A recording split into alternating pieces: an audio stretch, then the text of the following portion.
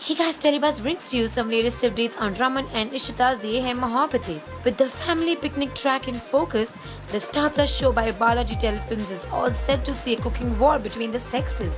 Shares the source, The family would be divided with both the sexes being against each other on different issues. Raman and Ishita would be left to lighten up the situation. So what will they do? Well, the duo would get the whole family to participate in the cooking competition organized by the resort where the males and females will compete differently. Raman and Ishita too would be battling it out along with other couples in this ultimate cooking competition. What do you think will be the final winner? Let us know with your comments below and hit the like button if you are excited to watch this cooking competition and also subscribe to Telebuzz for more daily television updates.